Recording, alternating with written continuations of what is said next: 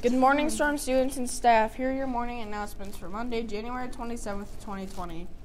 Happy birthday to Xavier Swing. I apologize if I said your name wrong. The yearbook staff is excited about the 2020 yearbook and has begun working hard to include all the great stories and students of Silver Hills.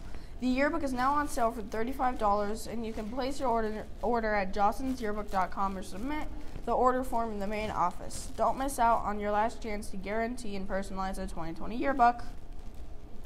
The past Saturday at the preliminaries um, was held for MATHCOUNTS. The team of Jamie McCabe, Corey Oldweiler, Jack Schnoheimer, I think, and Matthew Chulilo, I truly apologize if I said your name wrong, placed fourth out of 21. In addition, Jamie McCabe qualified for the countdown round with an overall ranking of fourth out of 84 for the individual competitions. Congratulations to all.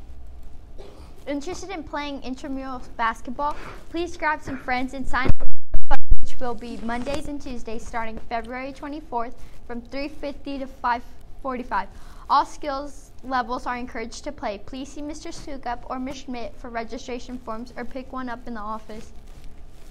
Come join your friends at Skate City. TSA is hosting a Skate City party for all Silver Hills students on Wednesday, February 5th from 4 to 6. The cost is $5 for admission and $3 for skate, skate, skate rentals. Hope to see you there on the 5th. It's our our school pack moment and connection. Being positive means doing so in our thoughts, feelings, and actions. This month, PAC challenges you to be a good friend and classmate by being respectful of others. For example, being aware of others in the hallways and stepping aside when it's passing time. Each time we make our hallways more fr- friendly, we are living the pack values. Remember, keep your face to the sunshine and you cannot see a shadow. By Helen Keller. You can't pronounce names, can you? No. Fact of the day Did you know that a blue whale can go up to six months without eating? Joke of the day. Why did the banana go to the doctor? Why? Because it was not peeling well. Ha ha.